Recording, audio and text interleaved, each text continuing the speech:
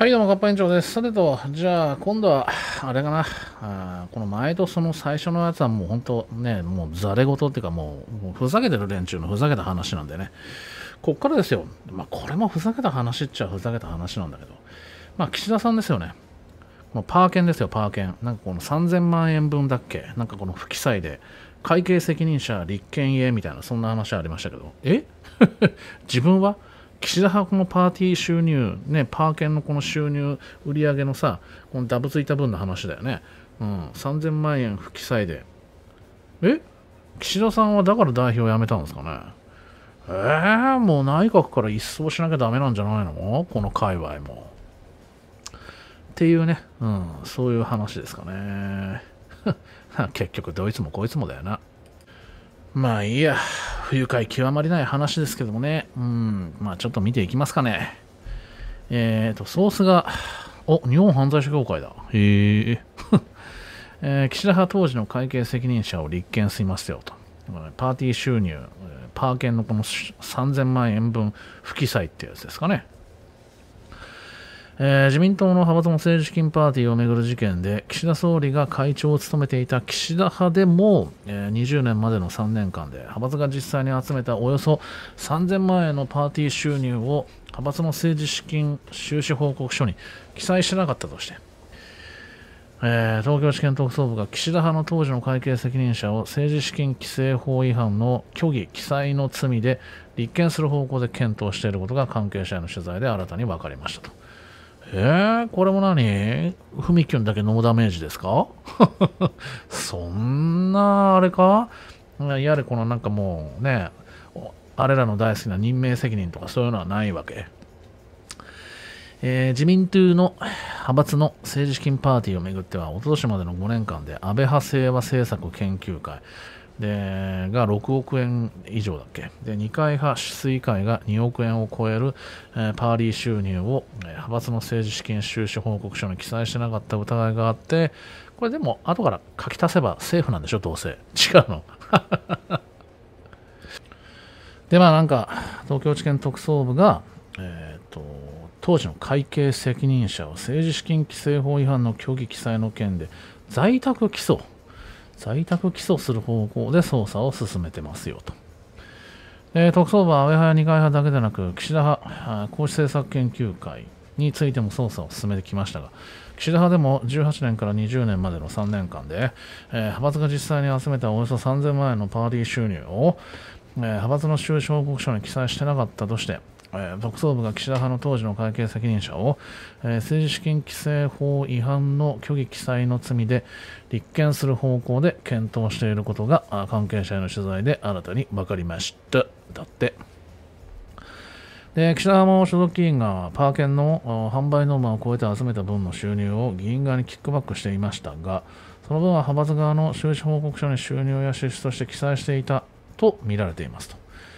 関係者によると、岸田派の当時の会計責任者は特捜部の任意の事情聴取に対して、パーティー収入の一部を収支報告書に記載してなかったことは認めていると。で、岸田総理が12年から派閥の会長を務めていましたが、去年12月、より中立的な立場で国民の信頼回復に努めたいとして、岸田派を離脱していると。岸田派なのに岸田総理が離脱するって、なんかね、よっぽどじゃないとこんなおかしな動き取らないよね。で、特捜部は、ね、自民党の派閥をめぐる一連の問題について詰めの捜査を進めているものと見られるんだってさ。もう派閥とかさ、ね、こんなことやってるやつはもうなんかもう、まあどうしようもね、もう私服壊すことしか興味がねえやつってのはもう分かってんだからよ。うん。とっとと証拠揃えてさ、ね、うん。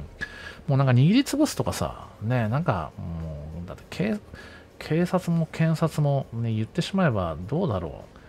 どこまでが抱き込まれてて、どこまでがなんかまだ動けるのか、ちょっと素人にはさっぱりわかんないですけどね。うん。まだなんかそういうなんか日本社会のこの、なんだろう、良心みたいなのが生きてるんだったらさ、うん、そろそろなんかもういい加減こういうふざけた輩を一掃する、ね、うん。もうなんかそういう作業をもうやんなきゃしょうがないんじゃないのかなって思うんですけどね。うん。ね、個人でも企業でも、ね、政界でも財界でもさ、ね、司法ですらそうじゃん。うん、汚ね腐ったやからばっかりじゃんだって、所詮は。うん。えだからこそやったもん勝ちとか言ったもん勝ちとかさ、ね、たとえ嘘でたらめてもこいたもん勝ちみたいなそういう風潮になるわけでしょ、うん、本来は違うじゃん。ね、所詮嘘は嘘。ね、犯罪は犯罪。ね、泥棒は泥棒。うん、詐欺は詐欺。ね、きっちり犯罪、ね、この罪償わせる。で、それが当然。ね、ひどいわけでもなんかすごいわけでもなんかとんでもないわけでもなんでもねえじゃん。当たり前じゃん。やっちゃいけないことやった。ね、言っちゃいけないこと言った。ね、罪に問われるべきじゃん。普通に考えて。だからそれがやっぱもう、なんかもう幅広く、ね、なんか小さくても、ちっくらいでも、ね、大事だとしても、やっぱそういうのがなんかまかり通ってるっていうかさ、うん、うん、厳しくじゃなくて普通だよね。普通にしないとダメですよね。うん。ね、バレなきゃいいとかさ、うん、そんなやつばっかじゃん。結局は。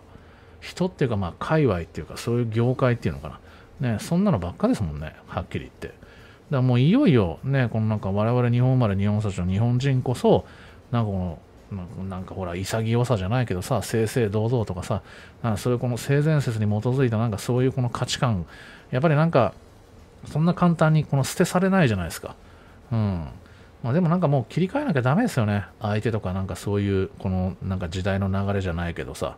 うん、残念っちゃ残念だし、ちょっと寂しい感じはしますけども。うん、でももうなんかそんなことも言ってらんないですよね。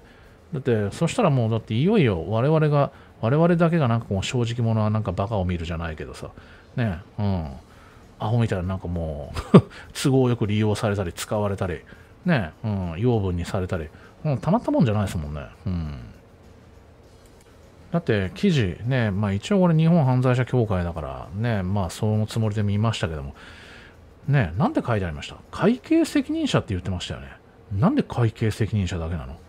政治責任求めるべきじゃないの？でもそんなの求めても、そもそもがね、日本社会全体で見たら、やっぱりもうそういう状況、ね、そういった主張も、なんていうの、成り立たないというか、うん、だからもうなんかね、もう美しい国でも何でもないんですよ、日本なんて、とっくの昔に。うん。だってえ、普通に考えたら政治責任でしょ？ね。うん。岸田さんがノー、なんかノークレノークレームじゃないや。ね、ノーダメージなんかもう普通にスルーとか、ありえねえだろ、どう考えたって。だけどそうはならない。うん。だからもうやっぱりもう社会丸ごとですよね。うん。ねだって結構の規模の金額の不記載でしょ？うん。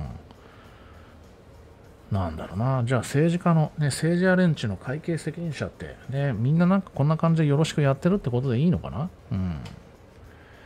ね、会長だったわけでしょ？うん。ね、今は会長じゃないからで岸田さんが責任から逃げる いやか、そんな風にしか見えないじゃん。ね、そんな、そんな話がデタラメが通用するんだったらもう、ね、終わってますよね、いよいよね。うん。ね、だからまあ最低でもこの内閣から岸田派は一掃しないとダメだし、えとりあえず自民党は政党交付金を全額返還。今後数年は政党交付金はもう受け取り不可。え、それぐらいでも全然普通にね、ひどくもなんともないですよね。足らないよね、そんなんじゃ。うん。さて、今回は以上です。